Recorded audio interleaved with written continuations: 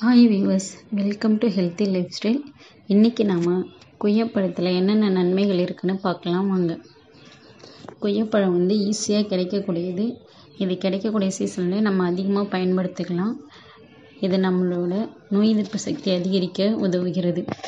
இது நம்ம உடலுக்குள்ளே நோய் கிருமிகள் எதுவும் நுழையாமல் தடுக்கிறதுக்கும் உதவுது. கொய்யாப்பழத்தில் வைட்டமின் சி இருக்கிறது. இந்த வைட்டமின் சி சத்து வந்து ஆரஞ்சு பழத்தில் இருக்கிறத விட நான்கு மடங்கு அதிகமாக இருக்குன்னு ஆராய்ச்சியில் சொல்லியிருக்கிறாங்க.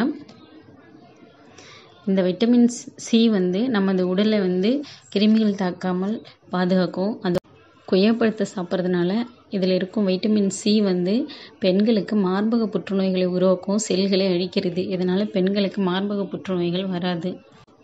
நம்ம டெய்லி ஒரு கொய்யாப்பழம் சாப்பிட்டு வந்தோம்னா நம்மளோட கண் பார்வை வந்து நல்லாயிருக்கும் கண் நோய்கள் எதுவுமே வராது.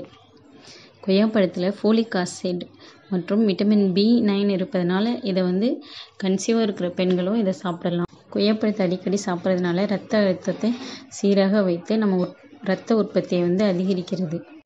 மனசோர்வு இருக்கிறவங்க கூட இந்த கொய்யாப்பழத்தை சாப்பிட்டுட்டு வந்தோம்னா கொய்யாப்பழத்தில் இருக்கிற மக்னீசியம் நரம்புகளையும் தசைகளையும் தளர்த்தி விடுவதனால நம்ம மனச்சோர்வும் இது குறைக்க உதவுகிறது.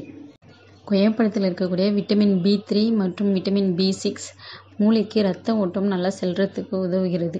இதனால் நம்ம மூளை வந்து சோர்வின்றி இருக்கும்.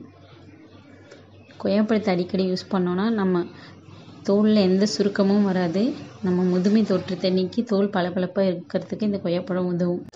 குழந்தைங்களுக்கு இந்த கொய்யாப்பழத்தை அடிக்கடி கொடுத்துட்டு வந்தோம்னா அவங்களோட நரம்பு மண்டலத்தை இந்த கொய்யாப்பழத்தில் இருக்க விட்டமின்கள் பாதுகாக்கும். அவங்களோட நரம்பு மண்டலம் வலிமை பெறும்.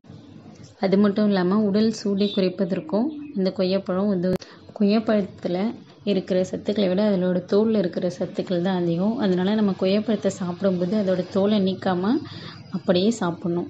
இந்த மாதிரி தோலை நீக்காமல் கடித்து சாப்பிட்றதுனால நம்ம ஈறுகளும் பற்களும் வலிமை பெறும்.